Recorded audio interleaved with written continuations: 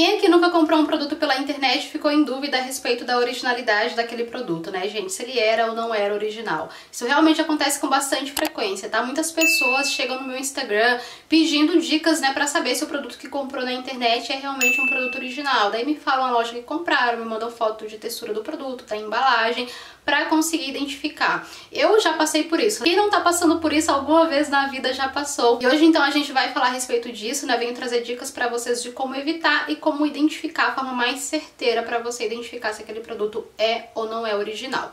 Então assim, a primeira coisa que eu gostaria de falar pra vocês é que o produto não dá certo no seu cabelo não é parâmetro pra você dizer se o produto é ou não é original, tá? Porque é o que eu falo aqui pra vocês, não é porque um produto é bom que ele vai ser bom para todos os tipos de cabelo. Um produto pode muito bem trazer um excelente resultado em um cabelo descolorido e um cabelo alisado não trazer um bom resultado. Por isso, o melhor seja para você comprar produtos importados ou produtos nacionais é identificar a necessidade do seu cabelo, né? Identificar qual a proposta de tratamento daquele produto e se aquela proposta de tratamento está adequada para a necessidade do seu fio. Porque não é porque 99% das pessoas gostam do resultado de um produto e 1% não gosta e você faz parte desse 1%, infelizmente, que você vai dizer que aquele produto é falsificado. Lá no Reclame Aqui a gente vê muitas pessoas duvidando da originalidade de vários produtos e levando em consideração realmente o fato do produto não ter dado certo aí, trazido um bom resultado para o seu cabelo e isso realmente não é parâmetro, tá bom? Outra coisa que eu gostaria de falar com vocês é que uma coisa que a gente tem que atentar é as características realmente físicas do produto. Mas essa questão assim de densidade, aí comprei um produto tava um pouco mais denso, agora tá um pouco mais fluido. Será que é um produto falsificado? Isso também, gente, varia muito de loja de fabricação. Tem lojas de fabricação que o produto vem com a textura um pouco mais densa realmente, outras lojas de fabricações aí vem uma textura mais fluida. Também depende muito do clima da região que você tá, se tá mais frio, se tá mais calor.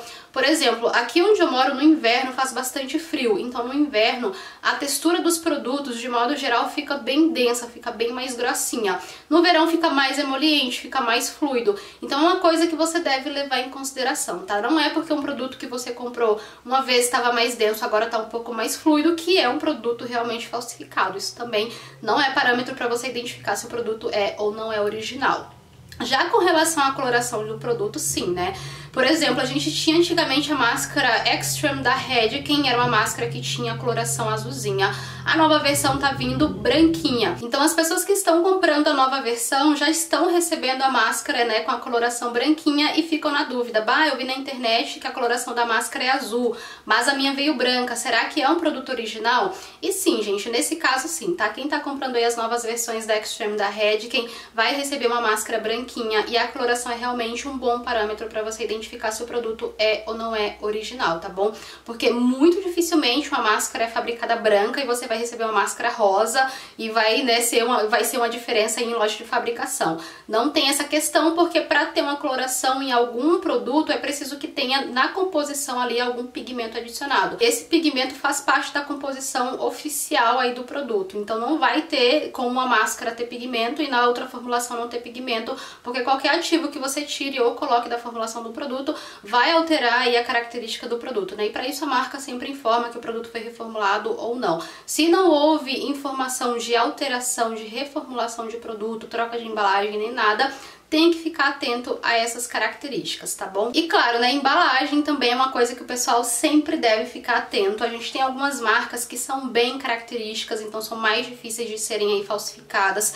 Vou trazer para vocês os produtos da Joico, que agora vem mais característico ainda, né? Os produtos da Joico são bem difíceis de você confundir é um original com uma falsificada, porque são produtos que têm características específicas. Outra coisa que eu quero que vocês entendam é que quando vocês compram de lojas oficiais é dos grupos, né, das marcas aqui no Brasil, no caso da Joico, vem com esse selo de originalidade. Então, se o produto foi comprado de uma exportadora que é reconhecida, que é oficial e que é autorizada a vender esse produto aqui no Brasil, você vai adquirir o produto com esse selo de originalidade. Isso não quer dizer que o produto que você comprou que não tem esse selo é falsificado, tá? Principalmente quando você compra em Mercado Livre e Shopee, porque geralmente os vendedores, né, que vendem os produtos em Mercado Livre e no Shopee, compram fora do país, ou na Argentina ou no Paraguai, para revender aqui no Brasil. Então esses produtos sim são produtos também que podem sim ser produtos originais, mesmo não tendo esse selo de originalidade que só vai ter em lojas que são oficiais, né, que são autorizadas aí a vender os produtos aqui no Brasil. Mas voltando aqui às características dos produtos da Joico, né? Agora as novas versões dos produtos da Joico tá vindo com esse Joy aqui na tampinha. Então todos os produtos que vêm com a nova tecnologia que é Smart Release, que vem descrito aqui na frente da embalagem, vão vir com esse joy aqui de joico na tampinha do produto. É um detalhe que a gente não tinha na versão antiga. Então se você comprar a versão antiga e não tiver esse joy aqui, não se preocupe, tá? Porque realmente na versão antiga a gente não tinha. Na versão antiga a gente tinha aqui também outra tecnologia que era peptídeo bioavançado, que também vem descrito aqui na frente. Todos os produtos que vêm com a Smart Willias e vêm com esse joyzinho aqui na tampinha do produto, que eu acho que é uma característica que você deve ficar atento na hora de comprar o seu produto e verificar a originalidade dele. A textura dos produtos da Joico também são sempre as mesmas, tá, gente? Por exemplo, o Moisture Recover é uma máscara que eu utilizo há muitos anos e eu nunca comprei essa máscara com uma textura diferente. É sempre uma textura amanteigada, amarelinha, né? Tem uma coloração amarelinha, uma fragrância bem característica. A nova versão agora tá vindo levemente menos amanteigada que a versão antiga, que era um pouquinho mais densa, um pouquinho mais pesada, mas ainda assim é uma máscara amanteigada que tem uma característica, é uma fragrância bem característica, uma textura bem característica, a embalagem também é sempre esse material mais emborrachado, então acho que é mais fácil de conseguir identificar. Science também é uma marca que eu acho bem difícil de ser falsificada, tá? Por exemplo, Inner Story é uma máscara que a gente via muitas falsificações na internet. E o pessoal realmente conseguia falsificar a fragrância. Era a mesma fragrância. Se tu sentisse, tu diria que era a mesma máscara. Mas a textura era realmente bem difícil, tá? A versão antiga da Inner Story, ela também foi reformulada, tá? Vale falar pra vocês, a gente já tem resenha aí da nova versão aqui no canal. Então a versão antiga tem uma textura branca, um branco gelo, mais amanteigada e ninguém conseguia falsificar, gente. Dava pra... Olhava uma outra na hora, tu conseguia ver qual que era original e qual que era falsificada. A nova versão agora tá vindo um pouco mais cremosa, a textura mais cremosa, então tá mais fácil de ser falsificada.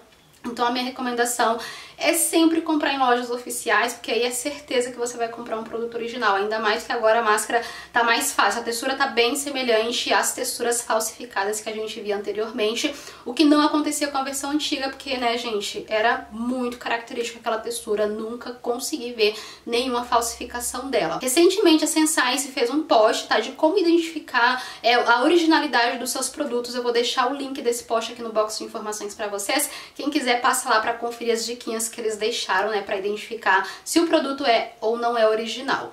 E uma marca que é bastante, né, bastante falsificada, que a gente vê muitas réplicas aí na internet, são os produtos da L'Oréal Profissional. E aqui entra aquela questão da tampinha que muita gente toma como parâmetro para dizer se o produto é ou não é original. Deixa eu pegar aqui essa máscara que eu comprei recentemente, eu trouxe testando e falando dela aqui pra vocês.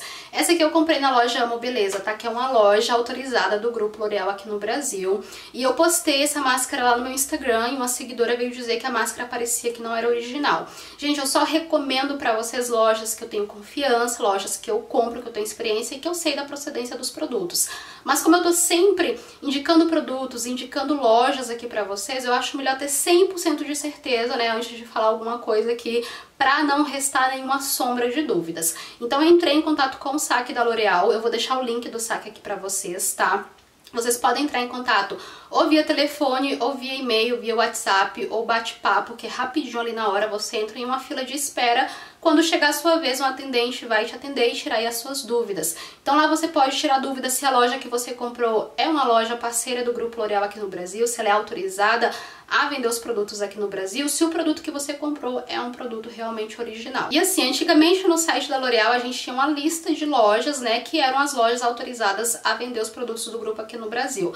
Atualmente eu acho que não tem mais porque eu procurei por tudo e não encontrei. Por isso eu entrei em contato com o saque. Eu até tinha postado já pra vocês aqui no canal, também já tinha postado lá no Instagram, só que como faz muito tempo a postagem se perdeu. Então entrei em contato com o saque e eles me confirmaram que a Amo Beleza sim é uma loja autorizada do grupo, inclusive mencionou outras lojas também, que eu vou botar aí na tela pra vocês. Então eles garantem a originalidade dos produtos que são vendidos aí por essas lojas, tá? E o que que acontece com essa máscara aqui? O padrão das tampinhas da L'Oréal agora são tampinhas lisas, tá? Assim como acontece com a máscara aqui Vitamino Color. Todas vêm com essa tampinha lisa. E essa aqui veio com a tampinha com os risquinhos, né? Que muita gente diz que quando vem com esse risquinho é porque o produto é falsificado. E mesmo a tampinha vindo fora do padrão, gente, a L'Oreal garantiu a originalidade e a procedência do produto. Mandei foto do produto, da embalagem, da textura, da validade, do loja de fabricação, mandei a nota fiscal e depois de receber todas as informações e mesmo tendo essa diferença aí do padrão da tampinha do produto, eles confirmaram que é sim um produto original. Então a tampinha realmente não é um parâmetro né, 100% confiável para você dizer se o produto é ou não é original, tá? Além de comprar em uma loja confiável, vocês podem sim entrar em contato com o saque da marca.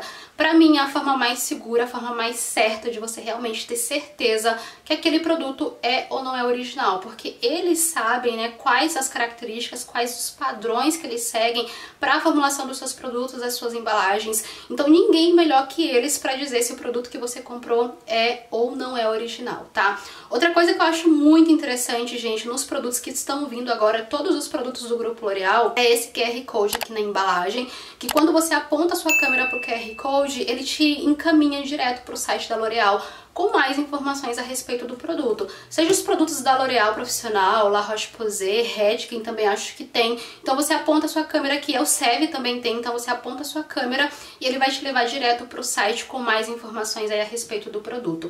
Isso já tem nos produtos do Grupo L'Oréal, nos produtos da Haskell também já tem isso. Se você lembra alguma outra marca que também já trabalha com QR Code, pode colocar aqui para mim nos comentários que eu acho uma ideia maravilhosa. Que eu acho que é uma coisa mais difícil de falsificar, porque qualquer mudança que é, no código, né, vai te encaminhar para um lugar diferente ou não vai te encaminhar para lugar nenhum. E aqui não, você aponta, ele te encaminha para o site oficial da marca com mais informações a respeito do produto. Então acho que é uma coisa bem boa e super válida para você identificar se o seu produto é ou não é original. Mas assim, gente, para não ter erro, para você realmente ter certeza de que está comprando um produto original, a melhor coisa é sempre comprar em uma loja autorizada da marca que você está comprando aí os produtos. Se for do Grupo L'Oréal, alguma loja autorizada do Grupo L'Oréal aqui no Brasil. A gente sabe que a única loja oficial do Grupo L'Oréal aqui no Brasil, L'Oréal Profissional, é a loja Segredos de Salão, tá? Tanto que no site da L'Oréal Profissional aqui no Brasil, eles têm um link lá que te encaminham direto para essa loja. Então todos os produtos que vocês compram é, na loja Segredos de Salão é certeza de serem produtos originais. Mas além dessa loja oficial, o grupo também tem lojas parceiras, né? Lojas autorizadas a vender os seus produtos aqui no Brasil. Eu vou deixar elas linkadas aqui no box de informações para vocês. Então são lojas de confiança. Mas o que acontece também também é que muitas pessoas não compram nessas lojas porque geralmente o preço está um pouco mais elevado, né, gente? A gente sabe disso. Então, lojas menores que não são tão conhecidas, né, até para ganhar um pouco mais de visibilidade, colocam os produtos com preços mais baixos, né, para vender os seus produtos. Então, você também pode entrar em contato com o saque da marca que você está adquirindo aquele produto para ter certeza se aquela loja é uma loja autorizada a vender esse produto em questão. Em caso das pessoas que compram em Shopee e Mercado Livre, tá? Porque eu já comprei também muita, muito tratamento importado no Mercado Livre. Inclusive tem um vídeo aqui no canal que eu dou dicas de como comprar produtos importados no Mercado Livre originais. Eu vou deixar o link aqui no box de informações para vocês, tá? A minha dica para você que vai comprar em Mercado Livre e Shopee é sempre comprar algum produto que você já tem experiência, que você já tem conhecimento, que você já conhece textura, que você já conhece embalagem, que você já utiliza há muito tempo. Porque aí fica mais fácil você conseguir identificar se o produto é ou não é original. Porque se não for, gente, sempre vai ficar aquela pulguinha atrás da orelha. Se você não conhece o produto, pelo menos conheça alguém que consiga identificar se aquele produto é realmente ou não é realmente um produto original. Uma certa vez eu decidi comprar um fracionado no Mercado Livre do kit CPR da Senscience, que é um kit que eu utilizo há muitos anos. Eu conheço esse kit de ponta a ponta, conheço textura, fragrância, conheço tudo. Enfim, comprei o dito kit no Mercado Livre, o passo 1, um, passo 2, né? Passo 2 veio bem certinho, creme com a mesma textura, com a mesma fragrância, mesmo, o mesmo sensorial, o mesmo tudo. E o passo 1, um, que é o gelzinho, acho que colocaram um shampoo no lugar, gente, o negócio fazia espuma, o negócio era perolado, fragrância totalmente diferente. Então na hora que eu vi, eu nem precisei abrir porque tinha vazado um pouquinho da embalagem, só por sentir a fragrância eu já vi que não era o produto original. Então fica bem mais fácil quando você já tem o conhecimento a respeito daquele produto em questão, saber identificar se é ou não é original, né? Porque na internet tem de tudo. Tem gente muito sincera, muito verdadeira, que tá fazendo um trabalho trabalho muito legal, mas tem gente que também tá aí, né, pra dar o golpe no primeiro que aparecer, então todo cuidado é pouco. Mas é isso aí, né, gente? Esse é o vídeo de hoje e se você tem mais alguma dica de como identificar se um produto é ou não é original, coloca aqui nos comentários, né, gente? Porque dica boa, como eu falo pra vocês, é dica compartilhada. Esse então é o nosso vídeo de hoje. Se ele te ajudou de alguma forma, não esquece de avaliar, deixar aquele joinha maroto, né, que isso ajuda muito a divulgar, ajuda demais no crescimento do canal. Um beijão e até a próxima!